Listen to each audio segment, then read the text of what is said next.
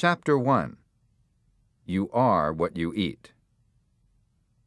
It's 10 p.m., and my partner in writing and crime, Mark Leyner, and I are late as usual, but the party is in full swing. We brought a bottle of Don Julio tequila, which Leyner sampled voraciously in the cab, insisting that it needed to be screened for industrial toxins. We enter the elegantly appointed Park Avenue home of Eloise Cameron, a philanthropist, patron of the arts, and Botox junkie. Hors d'oeuvres are being served, and the slightly inebriated and flush faced Leyner grabs a mouthful of Swedish meatballs, kisses our hostess, and then comments, Eloise, baby, better lay off the collagen. Kissing those lips is like making out with the Michelin man. She attempts to smirk with disdain, but the Botox leaves her face impassive. I corral Leyner and we proceed into the living room. No sooner have we entered when I'm embraced from behind. I turn around, and it's Jeremy Burns, an investment banker who sits two rows behind me at the Knicks games. Jeremy is well known to the Madison Square Garden food vendors for his insatiable appetite for hot dogs, cotton candy, and beer. He is now almost unrecognizable in his new Atkins induced skeleton like state. Who exhumed you? Leyner belches. I am overcome by embarrassment, but secretly wetting myself with laughter.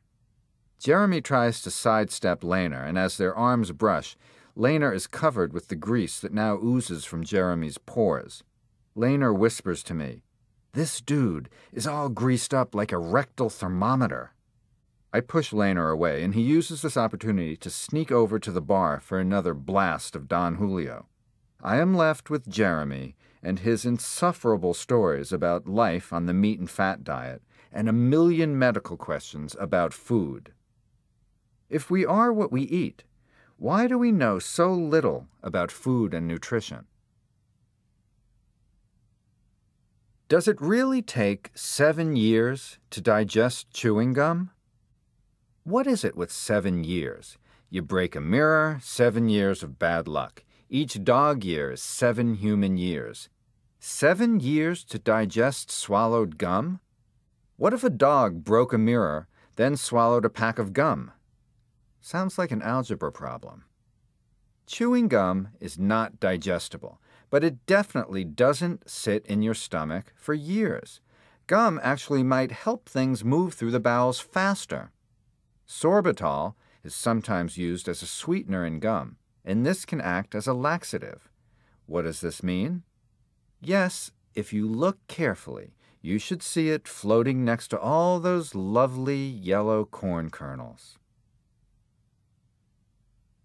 Why does your pee smell when you eat asparagus? Asparagus contains a sulfur compound called mercaptan. It is also found in onions, garlic, rotten eggs, and in the secretions of skunks. The signature smell occurs when this substance is broken down in your digestive system.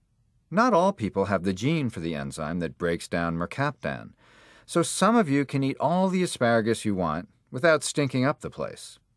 One study, published in the British Journal of Clinical Pharmacology, found that only 46% of British people tested produced the odor, while 100% of French people tested did. Insert your favorite French joke here. What causes an ice cream headache? Ah, the joy of a popsicle on a hot summer day. One theory places the source for the brain freeze in the sinuses, where the pain may be caused by the rapid cooling of air in the frontal sinuses. This triggers local pain receptors. Another theory postulates that the constriction of blood vessels in the roof and rear of the mouth causes pain receptors to overload and refer the pain to your head. There is a nerve center there in the back of your mouth called the sphenopalatine ganglion, and this is the most likely source of the dreaded ice cream headache. A friend of ours suggested a quick cure of rapidly rubbing your tongue on the roof of your mouth to warm it up. Her demonstration included a bizarre clucking sound. Leyner tried this, and found himself followed by a large goose of whom he seems to have become inordinately fond. Why do you cry when you cut onions? Cutting an onion releases an enzyme called lacrimatory factor synthase. This starts the process that leads to tears. This enzyme then reacts with amino acids of the onion, and the amino acids are converted to sulfenic acids. The sulfenic acids spontaneously rearrange to form synpropanethial S oxide, which is released into the air. When this chemical reaches the eyes, it triggers the tears by contacting nerve fibers on the cornea that activate the tear glands. Now you are crying. Scientists have tried to make a non crying onion, but it seems that the crying enzymes are also responsible for the zesty onion flavor. But there may be some hope on the way. The group of Japanese plant biochemists that only recently discovered lacrimatory factor synthase, the crying enzyme, believe that it might be possible to develop a non lacrimatory onion by suppressing the lacrimatory factor synthase gene while increasing the yield of thiosulfonate. Sounds delicious. In the meantime, there are several solutions to try to avoid the problem of onion induced tears. Heating onions before chopping cutting under a steady stream of water, or wearing goggles. The most reliable? Ordering takeout. Chapter 2 Body Oddities I am finally able to escape from the torture of Jeremy's food inquisition, and I look around and can't find Leyner anywhere. The bottle of Don Julio is missing, and there is a trail of shrimp tails that leads to the elevator. I find him sitting in the hallway, playing Chutes and Ladders with the neighbor's children and devouring cocktail sauce with a straw. I try to get him back inside, and he snarls, Are you out of your mind? I'm down a 150 bucks. His bark is heard inside, and several revelers come outside to watch the action. A crowd has formed around the game, and Mark is becoming surly with the children as his losses mount. It doesn't help that the children are mocking him by singing The Gambler by Kenny Rogers.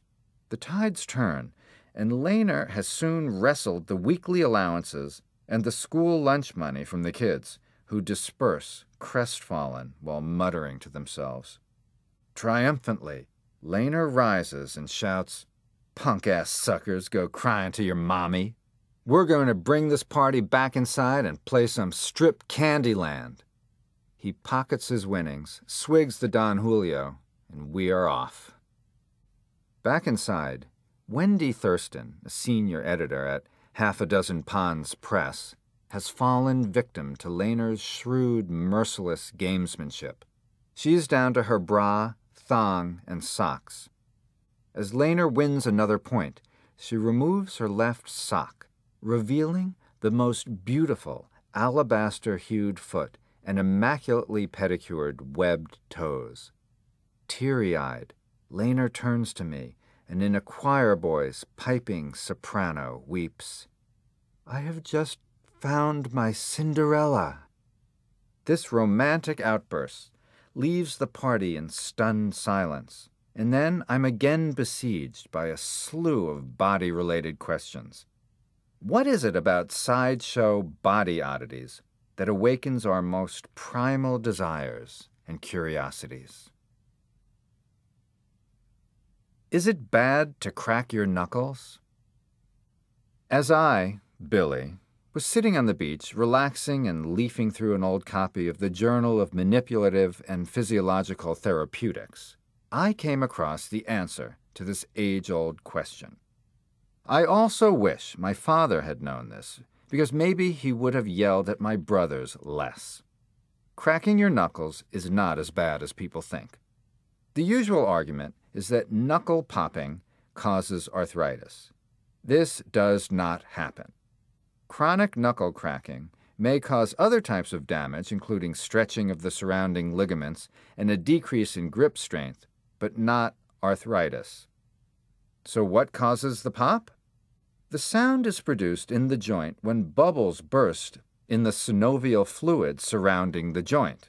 Really interesting, huh? Why are yawns contagious? Here are several things we can be thankful are not contagious drooling, nosebleeds, itching, seizures, farting. That said, there are several theories for what causes yawns and why they are contagious. It was originally thought that people yawn to get more oxygen, but this appears not to be true. The most common theory is behavioral. In an article examining contagious yawns, Dr. Stephen M. Platek and others state contagious yawning may be associated with empathic aspects of mental state attribution and are negatively affected by increases in schizotypal personality traits, much like other self processing related tasks. Hmm, I find myself yawning right now. What they mean is that people are unconsciously imitating others when they yawn. Humans are not the only species that yawn. Yawning is seen in many animals, including cats, fish, and birds, although we don't know what a yawning fish looks like either. Why do men have nipples? Since our editor thought this question made the best title for this book, we racked our brains to come up with a hilarious, witty, and informative answer to this question. Our attempts proved futile. So, in order to finish this book so another brilliant title wouldn't go to waste, we went for the boring, straight, scientific response. Sorry. We are mammals, and blessed with body hair, three middle ear bones, and the ability to nourish our young with milk that females produce in modified sweat glands called mammary glands. Although females have the mammary glands, we all start out in a similar way in the embryo. During development, the embryo follows a female template until about six weeks, when the male sex chromosome kicks in for a male embryo. The embryo then begins to develop all of its male characteristics. Men are thus left with nipples and also some breast tissue. Men can even get breast cancer, and there are some medical conditions that can cause male breasts to enlarge. Abnormal enlargement of the breasts in a male is known as gynecomastia. Gynecomastia can be caused by using anabolic steroids. So, if Barry Bonds ends up coming to the old timers game with a pair of sagging 44 double D man boobs, then I think we will finally have our answer to the steroid controversy. Can you lose a contact lens in the back of your head? It is common for people to come into an emergency room because they can't find their contact lens. Sometimes it is found folded and tucked beneath the eyelid, but other times it is nowhere to be found. So, where is it? Probably on the bathroom floor at home. A little anatomy lesson. There is nowhere else for it to go. Other commonly misplaced items that lead people to the ER tampons, condoms, and car keys. What are goosebumps? It's all about the arrectores pilorum. What, you say, are arrectores pilorum? These tiny little hair erector muscles that contract and raise the hair follicles above the skin. These are goosebumps, or goose flesh, or chicken skin. What causes them? They start with a stimulus such as fear, cold, or the sight of yourself in the mirror after a night of vodka induced debauchery. This causes the sympathetic nervous system to become activated. The sympathetic nervous system is responsible for the body's fight or flight response. This sends a message to the skin and activates those little muscles. What are eye boogers? To answer this question, we called one of my smartest friends, an Ivy League educated ophthalmologist who is a retina surgeon at a prestigious university hospital. He's the kind of guy who sends me Proust as a birthday gift. Doesn't watch TV, listens to NPR, so we go to him for the answer. Nothing. He tells me he will look it up. This just goes to show you that medical school sometimes misses the really simple stuff. So, who has the answer? Honorary physician and expert on medical oddities Mark Leyner wrote about this malady in Maximum Golf magazine. Here, one pseudo schizophrenic golfer hears two golf announcers having the following discussion in his head. Announcer B. Michael's a bit off center. I'd say less than a foot from the left edge of the mattress, and maybe a good foot and a half from the right rim. He's got his left arm tucked under the pillow. Announcer A which looks to me like a 245 thread count cotton twill shell filled with a 95% Canadian feather and 5% down blend. Announcer B. What's that in the corner of his left eye? A small emerald green particle. Can you make that out? Announcer A. That's the mucopolysaccharide secretion from the lacrimal gland that's accumulated and crystallized overnight, Bobby. Announcer B. Eye gunk. My mama used to call that a sleeper. Announcer A. Well, we've got a lovely aerial view of Michael's sleeper from the MetLife blimp, Snoopy 2, cruising at 35 miles per hour at an altitude of 1,200 feet. Our thanks to Captain William Schmeckling and his crew for that shot. Absolutely splendid. Announcer B. Chris, he's got to get that out of there. What would you do in this situation? Announcer A. There's the very slightest breeze coming through the open window, but not sufficiently gusty to warrant any sort of major tactical adjustment. I'd use an index finger here, position it on the corner of the eye, precisely there at the lacrimal duct, and just ever so gently, ever so deftly, roll the particle out. Announcer B. You can't try to do too much here. Announcer A. Just get it out, actually. That's a job well done. Announcer B.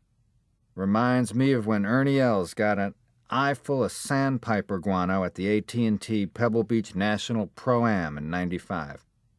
Played the back nine basically half blind. One of the most courageous exhibitions I've ever witnessed. This eye gunk is nothing serious.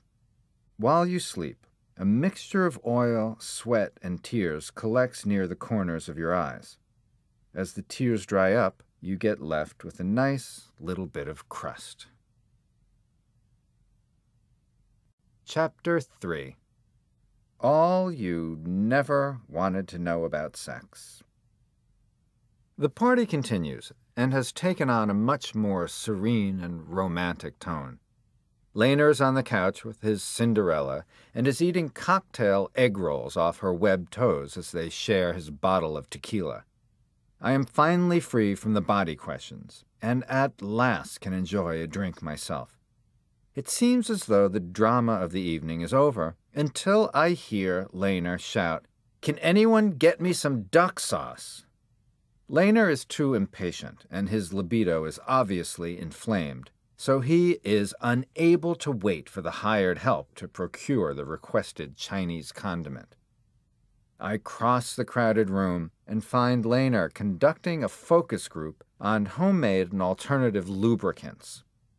As I reach the front of the group, Leyner is now meticulously mixing exact proportions of Tabasco, runny brie, and a dash of his sacred tequila to form what he now calls his spicy sex bomb. I try to suggest that the Tabasco may cause contact dermatitis on the more sensitive parts of the body, but Leyner chooses not to heed my medical advice as he leads his new special friend to his ad hoc laboratory. I am left behind to answer a sudden barrage of questions about sex. With anatomically correct dolls, sex in the city, and internet porn, you'd think there'd be nothing left to learn. But there are still some questions people are afraid to ask until they've had that third martini. Is sperm nutritious? Or fattening? You are what you eat. In this case, it is somewhat true as sperm contains important genetic material. But sperm, despite its important load, is not particularly nutritious or fattening. The average ejaculate, about one teaspoon, contains between 2 and 300 million sperm. Total calories? About 5. These calories are derived from protein, including enzymes and sugars, mainly fructose, secreted into semen by the prostate gland to provide the sperm with the energy to swim. Other good stuff found in semen includes water, vitamin C, citric acid, phosphate, bicarbonates, zinc, and prostaglandins, a veritable breakfast of champions. Can people in wheelchairs still have sex? If an aroused male is unfortunately the victim of a spinal cord injury, the ability to have sexual intercourse depends on the level of injury. In men, there are normally two types of erections psychogenic erections, which result from sexual thoughts, and reflex erections, which result from direct physical contact. Psychogenic erections develop from the nerves of the spinal cord that exit toward the bottom of the spine at the T10 to L2 levels. Generally, men with an incomplete injury at a low level are more likely to have psychogenic erections than men with high level incomplete injury. Men with complete injuries are less likely to experience psychogenic erections. Reflex erections arise in the sacral area of the spinal cord. Many men with a spinal cord injury are able to have a reflex erection with physical stimulation if this pathway is not damaged. Are there any specific things that affect the scent of a woman? My wife's friend once told her that eating pineapple made you smell good down there. The friend had heard this from a call girl. It doesn't get more evidence based than that. There is, however, no scientific research on this sensitive subject. People do believe that you are what you eat, so what you ingest, ladies, can affect the smell and taste of your womanly secretions. Foods that are often mentioned as having the potential to cause problems down there are asparagus, garlic, and curry. Chapter 4 Can I treat it myself? I look at my watch, and I can't believe that it is only 12 a.m.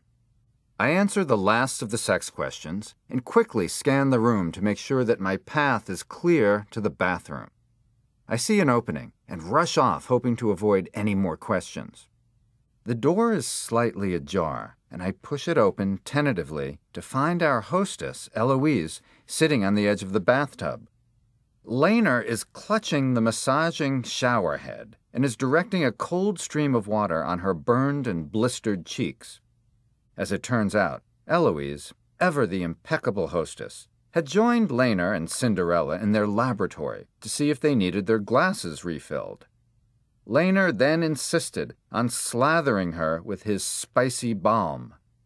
Little did he know that Eloise had had a deep cleansing facial peel just a few hours before the party, leaving her skin ultra vulnerable to any corrosive ointments. It was comforting for me to see that in the heedless anarchy of the moment, Leyner had actually done the right thing and was correctly caring for her burns. There are two venerable maxims that rule the professional classes. For doctors, it is do no harm, and in the world of jurisprudence, it is anyone who represents himself in a court as a fool for a client. So, if you must be your own physician, do no harm and don't be a fool. Why is it bad to insert cotton swabs in your ears? Oh, the pleasure of the forbidden. Those things that you are not supposed to do are always so enticing. The ears, for the most part, do not require any routine cleaning. Ears are like a self cleaning oven. With the help of gravity and body heat, earwax will gradually find its way out. If wax appears on the outer ear, a cotton swab may be used. If you can't help but go in farther, you are risking wax impaction or injury. If you do get wax impacted in your ear, you will be in pain and half deaf. There are over the counter preparations that can help relieve wax blockage, but warm water in a syringe often works best. As a last resort, you can see an ear doctor or come to the ER for a good cleaning. It is not uncommon for us to see patients who have violated these rules and come to see us to remove the tip of the cotton swab that has fallen off inside the ear. Don't worry, we are prepared. We also remove other things like cockroaches, beads, and pen caps, all of which we've pulled out of ears. If you get bitten by a snake, should you suck out the venom? I love a good Western, and nothing could be more badass than biting into a snake wound and spitting out the venom. Of course, this would be followed by some whiskey and a good gunfight. Unfortunately, this is no longer an accepted practice. Sucking at a snake bite is not only ineffective, but could lead to an infection at the wound site. According to the American Red Cross, these steps should be taken after a snake bite. 1. Wash the bite with soap and water. 2. Immobilize the bitten area and keep it lower than the heart. 3. Get medical help. Toxicology experts might also suggest applying a tourniquet loosely above the bite to prevent the venom from spreading. This must be done with caution, as the tourniquet itself can cause problems if it cuts off the blood flow entirely. The person then needs to be transported rapidly to an emergency room. Antivenin is available for a variety of different snakes. Other treatments include antibiotics and surgery. Of the estimated 120 different types of snakes found in the United States, about 20 are poisonous. Most bites occur in the southwestern part of the nation, but they can even occur in New York City. In New York State, there are three species of poisonous snakes the timber rattlesnake, the Massasauga rattlesnake, and the copperhead. In the city, however, most bites occur from snakes that are kept as pets. Does bathing in tomato juice remove the smell of a skunk? For those of you who were watching TV in 1970, you may have seen episode 8 of the first season of The Partridge Family, when a skunk finds its way onto the family bus and turns the partridges into stinkers.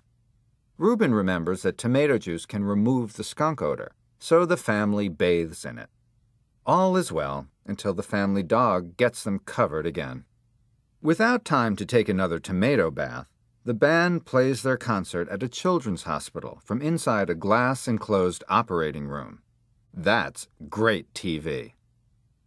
The major molecules that make skunk spray smell are sulfur compounds.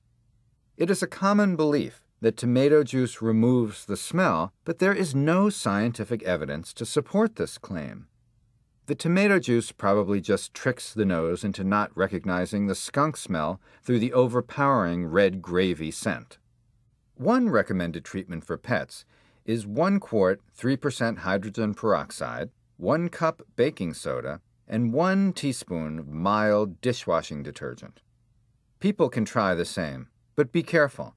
The peroxide can have a bleaching effect.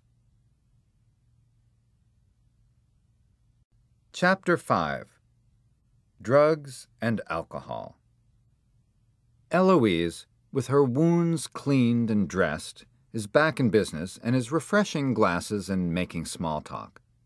Leyner appears wounded from his laboratory mishap and is quietly sitting cross legged in the corner, sullenly nursing the dregs of his bottle of tequila.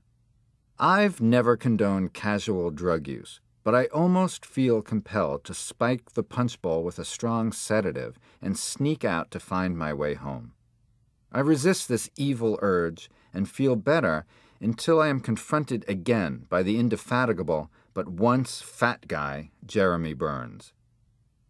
Jeremy, aside from his Atkins obsession, has never grown out of his penchant for fraternity hijinks. Eloise offers him one of her signature frozen daiquiris, but Jeremy only wants a jello shot, a beer bong, or some ecstasy. Eloise turns her nose up at his boorish request and he turns to me to plead for a prescription for some medical grade marijuana. I explained to him that prescription pot is not available in New York and that I wouldn't give it to him anyway. Jeremy is not ready to give up and asks, Then can you get me any of that shit that Rush Limbaugh takes? Oxycontin, I reply. Yeah, yeah, he says. Oh, and also some of that stuff that Matthew Perry and Brett Favre do. Vicodin, I reply again. Jeremy says that he already has plenty of Vicodin and asks if maybe I can just get him a little ketamine. I am becoming exasperated, and I realize that I have an opening. Jeremy, you know that ketamine is a potent horse tranquilizer. And that guy over there is a veterinarian. I say, pointing to a portly, balding gentleman in the next room. Jeremy rushes off as I breathe a sigh of relief.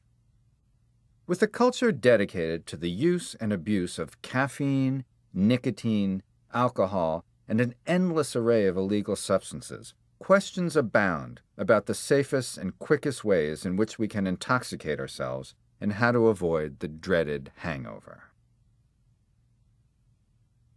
Beer before liquor, never sicker. Liquor before beer, never fear? This one isn't all that clear. Or maybe it's because of those drinks we just had. The biggest problem with this rhyme is that nobody seems to remember how it goes. As for the science, there's no research to prove or disprove it. One theory about this little ditty attempts to explain that the carbonation in beer causes increased alcohol absorption. There is no proof that this is true. Nor should you believe that coffee will help you with a hangover or that bread will absorb the alcohol in your system. Only time will cure your pain as you wait for the alcohol to leave your bloodstream. Intoxication is defined as a blood alcohol level of 100 milligrams per deciliter, 0.10%. In adults, the level usually falls about 15 to 20 milligrams per deciliter per hour. Everyone metabolizes differently, but on average, it would take about 6 to 8 hours for you to return to normal from a mild drunken state. Here are various blood alcohol concentrations and their attendant symptoms 0.02% lightheaded, 0.05% mild euphoria.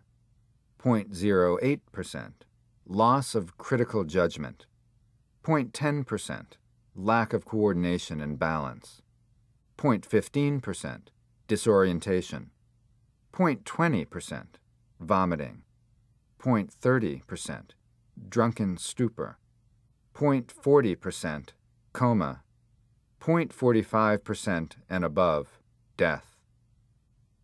Simply put, Alcohol causes intoxication, so the more you drink, the sicker you get. It doesn't have anything to do with the order in which you tend to chug your beer or wine. As for the dreaded hangover that follows, it is caused mainly by dehydration and interrupted sleep. The sleep and water that will ultimately cure you are not as interesting as some of these famous hangover cures. 1. The prairie oyster olive oil, tablespoon of tomato ketchup, one egg yolk, salt and pepper, Tabasco, Worcestershire sauce, vinegar or lemon juice. 2. Cold pizza. 3. IV fluids. Helps to date an MD or paramedic. 4. The hair of the dog that bit you. In other words, the blessed Bloody Mary. 5. Vitamins B and C. 6 and the most effective and most expensive kidney dialysis. Can poppy seeds make you test positive for heroin? If it's the Jewish holiday Purim and you plan on competing in the Olympics, you may want to think twice before gorging on poppy seed hamantaschen. Eating enough poppy seeds can cause your urine to test positive for opiates. It's difficult to say how many poppy seeds you need to eat to fail your drug test, but some reports have stated that three poppy seed bagels, for example, could generate a positive test result. Pastries and cookies that contain heavy amounts of poppy seeds, like hamantaschen, could also lead to a positive test. There is an additional test that looks for certain chemicals present in heroin that are not present in poppy seeds. So, your athletic future really will depend on the exact test you are taking. What is the poppy seed heroin connection? Cultivated poppies are the source of opium, from which morphine and heroin are produced. Does marijuana help glaucoma? There are some important medical uses for marijuana, and some of these lead to solid arguments for legalization. However, the use of marijuana for glaucoma does not appear to have any benefit over available medications. Marijuana does reduce pressure in the eye, but in order to sustain this reduction, you would have to smoke about 10 to 12 joints a day. Your eye pressure might be lower, but you will be too stoned to get anything else accomplished except naked guitar playing, gluttonous pork rind consumption, or deriving profound meaning from Rob Schneider films. Can you get high from licking a toad? Poor, sad toads. They always seem to take a back seat to the frogs. Frogs get kissed and turn into princes, and toads just get to cause warts. Well, here's some good news for toads. Toads do not cause warts. Toads do, however, produce a protective substance in the parotid gland behind the eyes. This toxin can make animals, such as dogs, very sick and can be irritating to the human eye. But some people go way beyond touching toads and actually lick them in an attempt to get high from a psychedelic substance supposedly found on its skin. The species known as the bufo toad does have a psychedelic substance on its skin. This substance is similar to serotonin and LSD and can cause hallucinations. Be careful when trying this method because some people have been arrested for toad licking. Chapter 6 Bathroom Humor Leyner seems to have rebounded from his brief period of remorse and sorrow and is now back to his crazed ways. Tequila in hand, he is delivering a rambling, quasi coherent lecture about cultural differences in post defecation hygiene.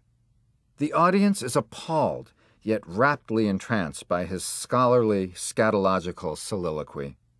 As Leyner continues, a hand pops up in the back of the room.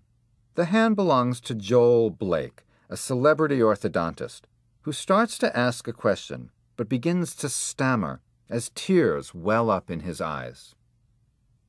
Leyner moves through the crowd with the style and empathic grace of Oprah Winfrey, grabs his hand, and says, It's okay, Joel. You can tell us. You are among friends. I wipe standing up, Joel blurts out. There's a cackle from the gallery, but Leyner silences the offender with an icy stare.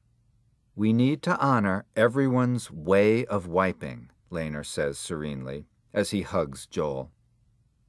The bathroom and all that occurs behind closed doors may be the final taboo. Yet, when placed in a comforting environment or in a locker room, people will share their secrets, often to unfortunate results.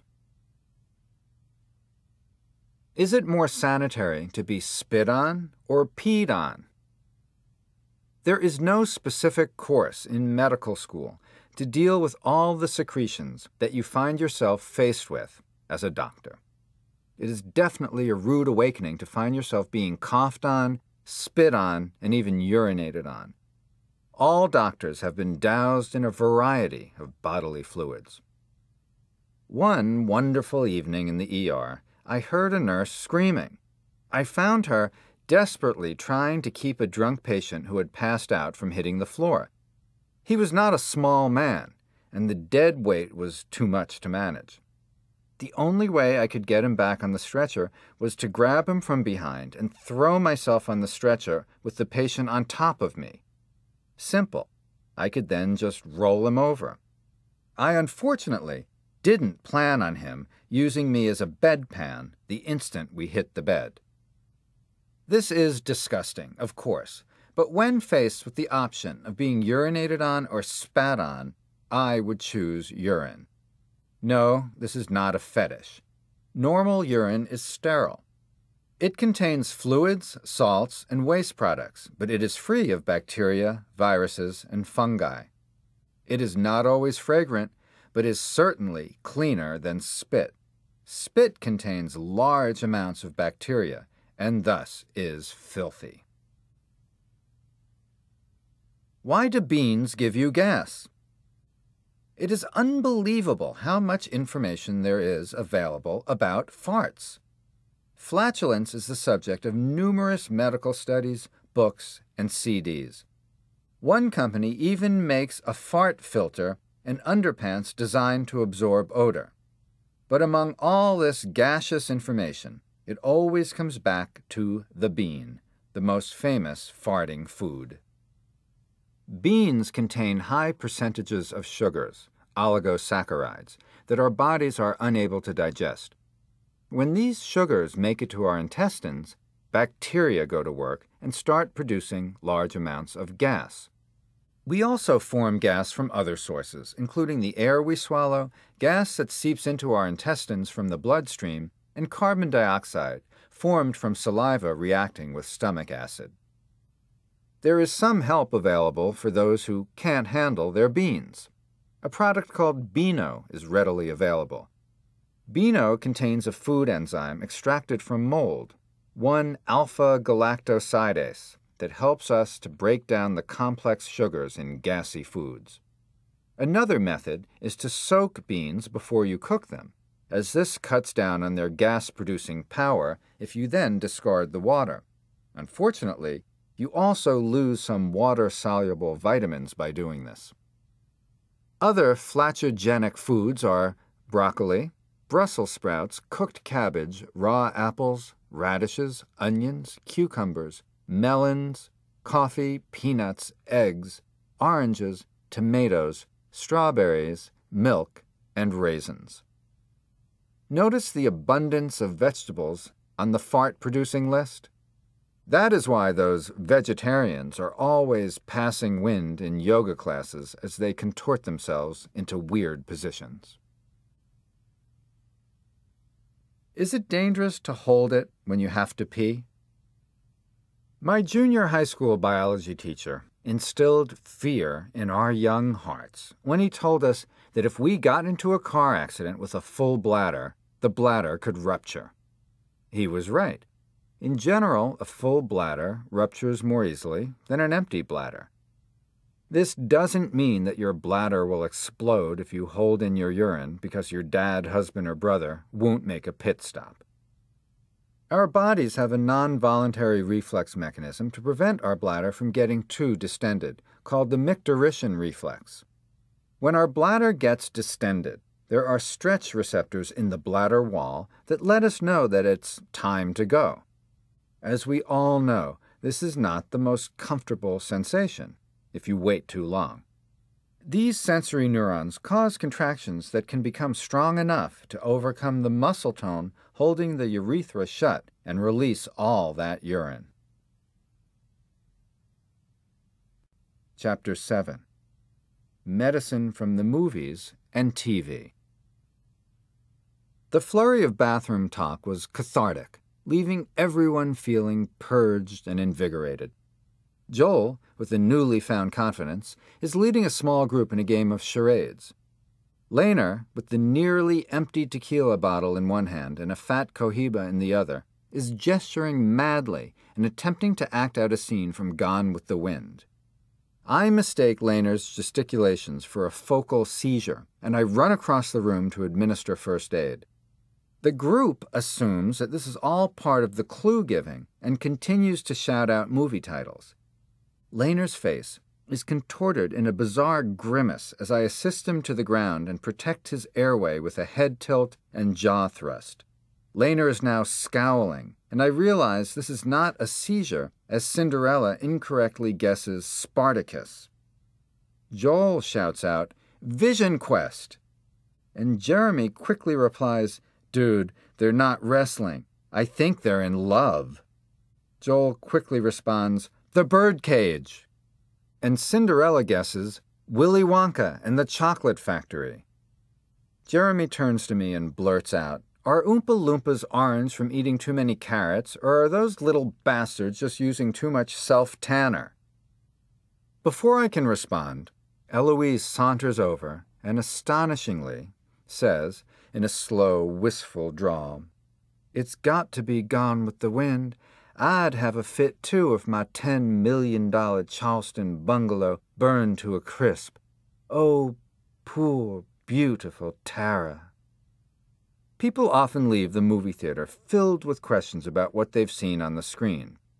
After a thrilling episode of ER, I can always expect to get a call. Is the show ER accurate? Accurate. Adjective. 1. Correct in all details. 2. Free of mistakes or errors. Of course it's not completely accurate. It's TV. But the writing staff does capture the general controlled chaos of an ER. They deal with real medical cases, but their medical depictions are always embellished to add a little extra Hollywood flair.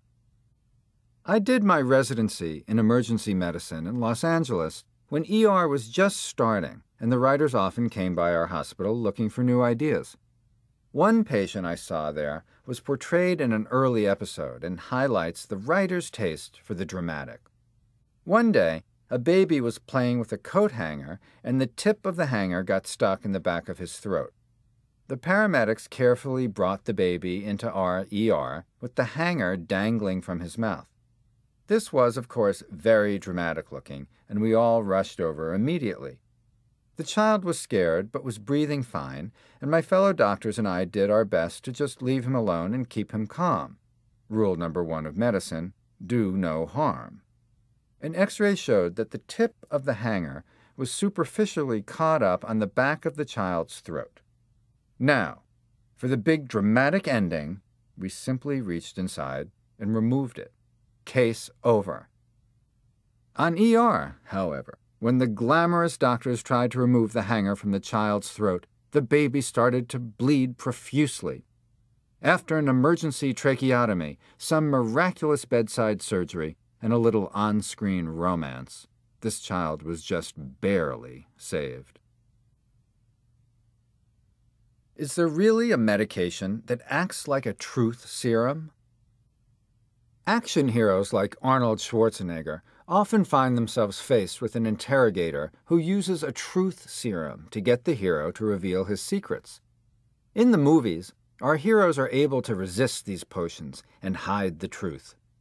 Hiding the truth seems also to prepare action heroes for a successful career in politics. They seem pure fiction, but truth serums do exist. Barbiturates such as sodium amytal and sodium pentothal were first used as truth serums in the early 20th century. These drugs inhibit control of the central nervous system and were used by physicians to help patients recover forgotten memories or repressed feelings. They are also used for patients with suspected conversion disorder, a condition in which psychological problems produce physical symptoms. An Amytal interview is performed by administering a small amount of this drug intravenously. The drug produces a state of drowsiness, slurred speech, and relaxation. This condition makes patients more susceptible to suggestion, allowing the potential to uncover repressed feelings or memories. Today, these interviews are seldom performed. The truth serum will not necessarily make you tell the truth. Patients may lose inhibition, but will not lose all self control. Therefore, they are still able to control their behavior and lie. Studies have shown that during these Amytal interviews, patients often demonstrate a distorted sense of time, show memory disturbances, and have difficulty distinguishing between reality and fantasy. So the line between fact and fiction becomes even more blurred. Does hysterical blindness really exist? On an episode of King of the Hill, Hank accidentally sees his mother in bed with her new boyfriend and suddenly loses his vision. In the movie Hollywood Ending, Woody Allen's character has the same problem because he is so nervous about the film he has to direct. So, does this sudden blindness really happen outside of the movies and TV? The answer is definitely yes, and it is not unusual to see these patients in the ER. Hysterical blindness can occur as a result of a psychological stress, a conversion disorder, or someone can intentionally fake blindness for some secondary gain, malingering, a prisoner who says he can't see in order to try to avoid going directly to jail. It is not difficult to figure out when patients say they are blind but can actually see. We have a simple test that lets us determine whether the eyes are functioning. Using a rotating striped drum, we test for something called optokinetic nystagmus. As the drum spins, normal eyes will be seen moving back and forth. If a striped rotating drum is not available, you can always use a picture of JLo's rear. Move it back and forth and any normal eyes will follow. Chapter 8 Old Wives' Tales It's now 4 a.m., and people are drunk, bloated, and exhausted. Leyner is recovering from his Academy Award performance and has his tongue inside the tequila bottle, trying to extract every last drop. He removes his mouth from the bottle and says, the tongue is God's gift to the human race, the ultimate organ of poetry and pleasuring. Leyner goes on to say, The lingua, blessed instrument of storytelling that allows me to continue the tradition of the oral urban legend. Jeremy, still stinging from his loss in charades, confronts Leyner and says, I am so sick of all your stories. My tongue tells me that you should kiss my ass. Although it's late for most, nothing motivates Leyner more than verbal provocation. He responds with glee. Ah, Jeremy, in medieval times, kissing the ass of a fool's sister was said to cure acne. Have you noticed how clear my skin is lately? Thank your sister for me. Jeremy leaps at Leyner, and the two of them tumble around the floor in a grunting adolescent flurry of fists and fury. They roll toward the living room, and Leyner, although in a seemingly suffocating headlock, is still able to continue his grand historical survey of old wives' tales. The Visigoths believed that eating juniper berries would make them strong for battle. Jeremy tries to silence Leyner with a jab to the throat, but in a hoarse voice, Leyner adds, all it did was cause excessive flatulence. Urban legends and folklore can be the cause of tremendous uncertainty. People often desperately want the record set straight on some of these common myths. So, here you go. Is it true that you have to wait a half hour after eating to go swimming? As a child, no time seemed longer than the time spent waiting to jump back in the water after a meal.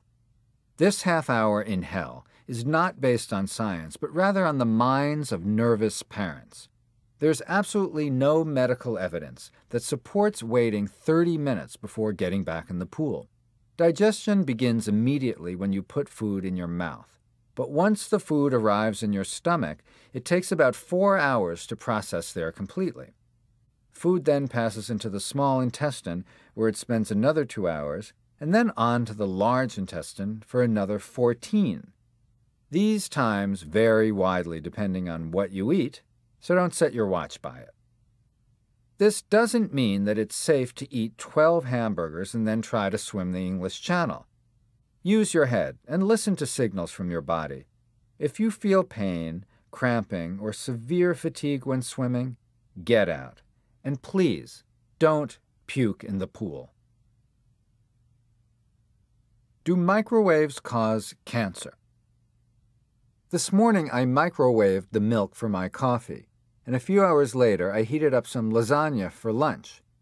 If what you read on the internet is true, I should have about 12 more hours to live.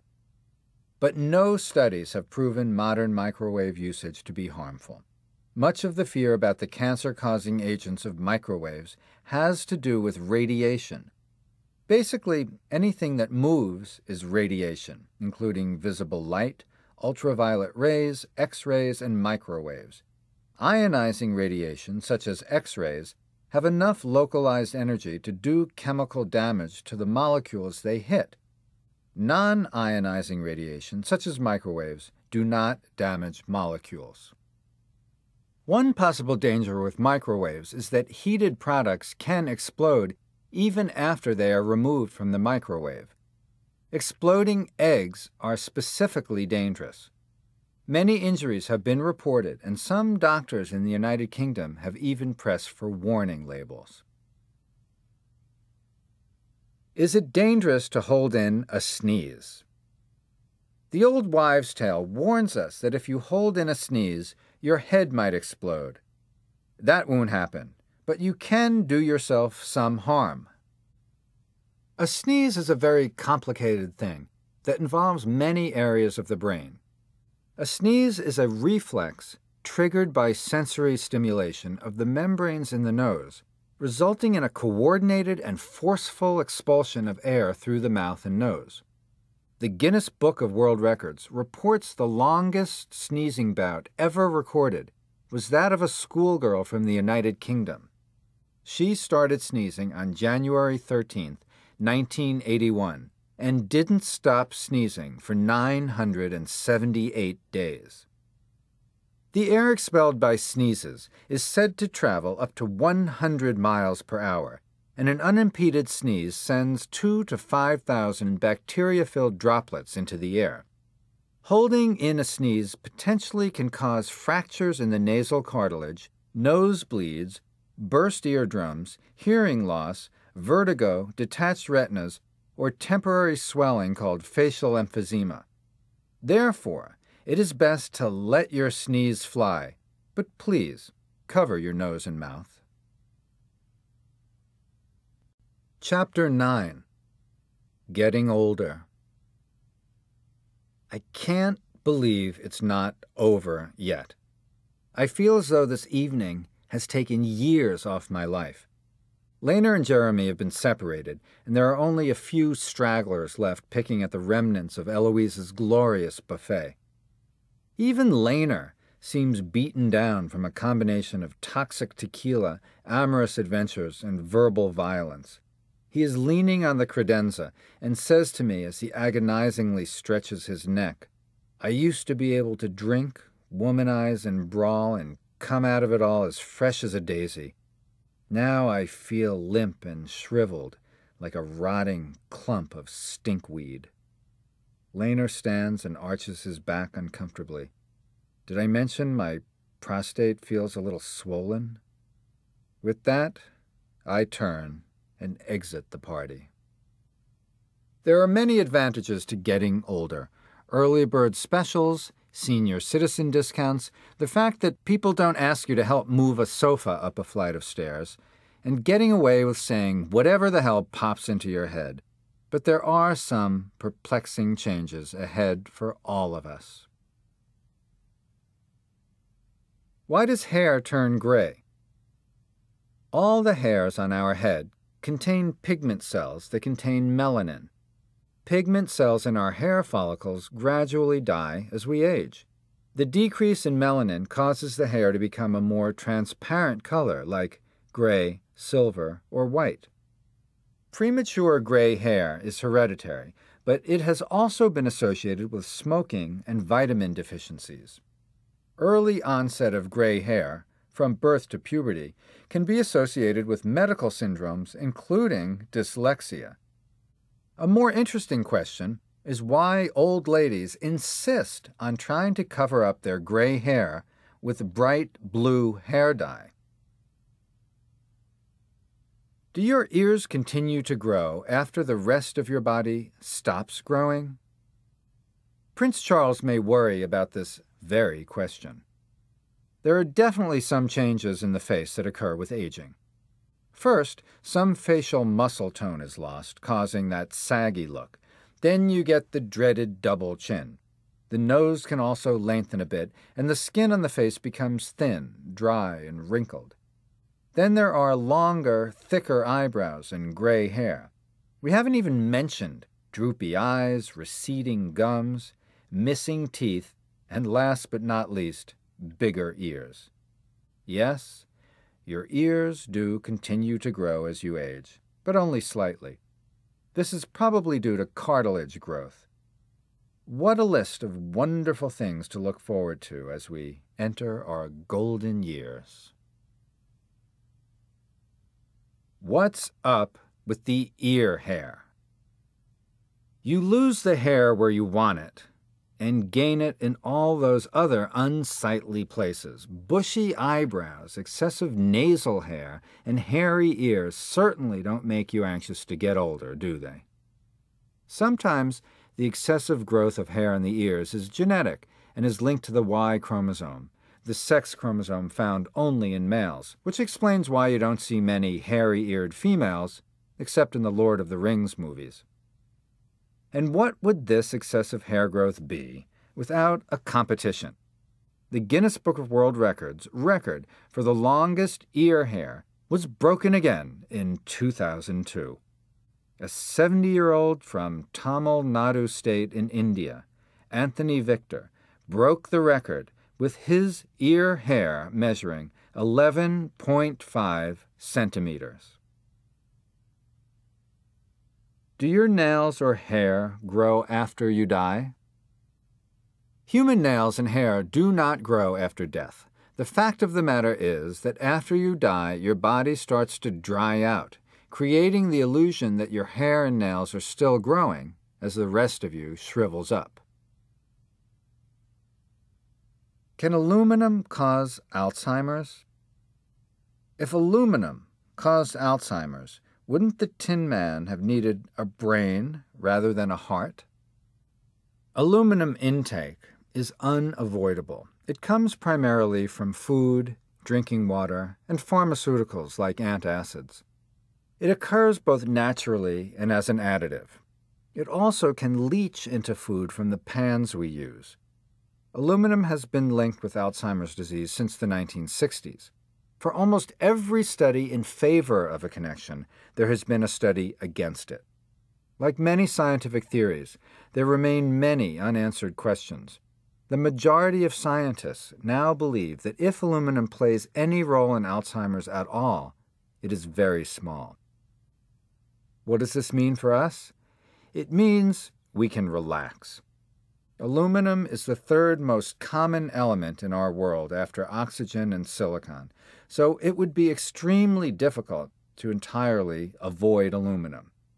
If you do choose to try and avoid aluminum, you can drink filtered water, avoid aluminum containing antiperspirants, and be careful when cooking acidic or basic foods in aluminum containing cookware. If you are going to be an anti aluminum crusader, we hope that you will be consistent.